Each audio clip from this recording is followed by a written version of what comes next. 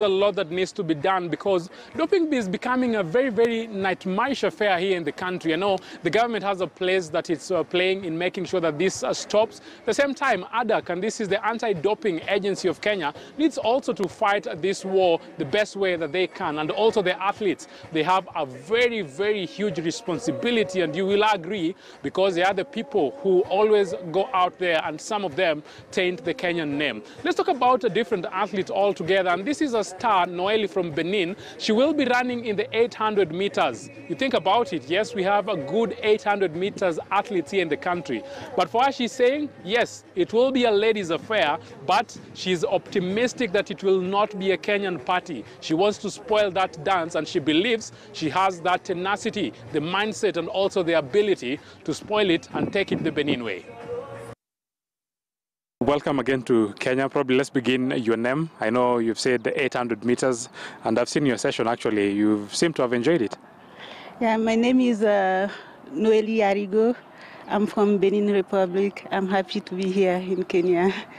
How will you say the day has been? Because I saw you came quite early alone to start with, and uh, at least uh, your body, I think, at this particular time will say it's fit and ready for action on Saturday.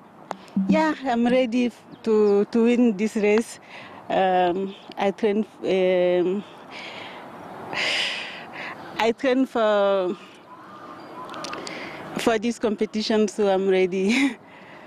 Not your first time in Kenya, because you've been uh, coming in Kenya at different times and enjoying it uh, here. Probably, how will that aid you as you try as much as possible to win the race? Um, Kenya is like my second home, so because I, used to to be here every year to, uh, for training camp, and uh, um, I know uh, the lady who will uh, run with me uh, for this competition, so I don't fear. I just cross the fingers to, to run fast. I know the Kenyans will try as much as possible to win it at home, and you're saying you want to win it. Probably, do you have uh, something specific that you think will play as advantage for you uh, coming from Benin, fighting, trying to win against the Kenyans, who a lot of people will say they're the favorite because they're playing and running in their own backyard? Yeah, I know. I know that uh, Kenyan lady is uh, very strong, but uh, even me, I'm strong. So I believe uh, on my tra- uh, training. I believe uh, what uh, I do in training. So I will fight to to win uh, this race.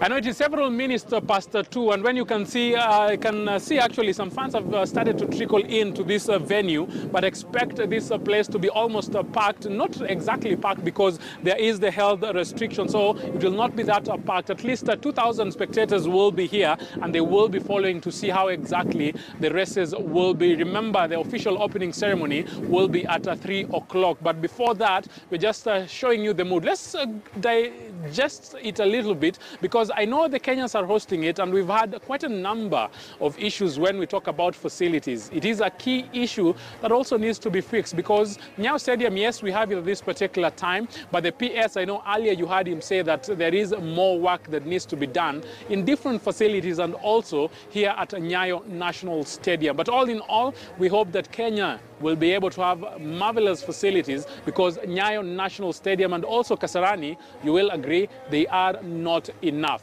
But let's talk about a different uh, event altogether, and this is